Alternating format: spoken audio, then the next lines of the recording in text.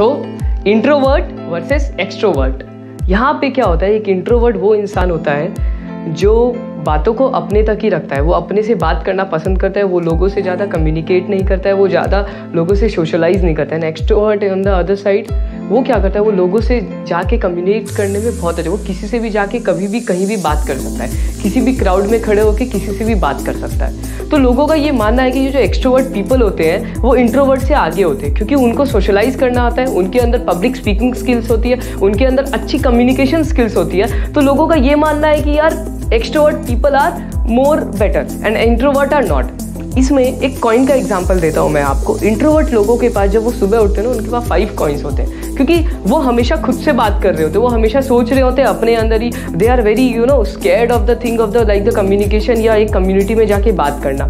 तो उनके पास पाँच कॉइन्स जो होते हैं, वो शाम तक वो अपने से बात करते करते ये है, वो है, वो खुद ही डिसीज़न लेते लेते वो पाँच कॉइन्स खत्म हो जाते हैं। ऑन द अदर साइड एक extrovert when he wakes up उसके बाद पाँच कॉइन्स नहीं होते हैं। He has zero coins but वो he goes into the world and steps up and talk to people and gain those five coins तो at the end of the day extrovert has five coins but the introvert doesn't have अब इसी के अंदर एक पंच है, अलग सा। अब मैं, अभी तक तो मैं एक्सट्रोवर्ट के फेवर में बोल रहा था, अभी इंट्रोवर्ट के फेवर में। अभी आप क्या कर सकते हो? Make friends who are extrovert इसमें क्या होगा? आप इंट्रोवर्ट हो। मतलब आप बहुत कम बोलना पसंद करते हो, आप लोगों से जल्दी सोशलाइज नहीं हो करते यूर शाई गाई तो आपका कोई इंट्रोवर्ट एक्सट्रोवर्ट फ्रेंड होगा। यू आर इंट्रोवर्ट आपका कोई एक्सट्रोवर्ट फ्रेंड जो हर किसी से जाके बात कर सकता है, किसी भी पार्टी में किसी से बात कर सकता है, हर किसी के साथ वो कम्युनिकेट अच्छा कर सकता है। आपको कुछ नहीं करना, कुछ भी नहीं करना, इससे फ़ायदा भी बताता हूँ। आप इंट्रोवर्ट जाइए एक्सट्रोवर्ट के साथ पार्टी में और एक्सट्रोवर्ट के साथ साथ घूमिए। आपको करना ही कुछ नहीं है। बातें वो करेगा,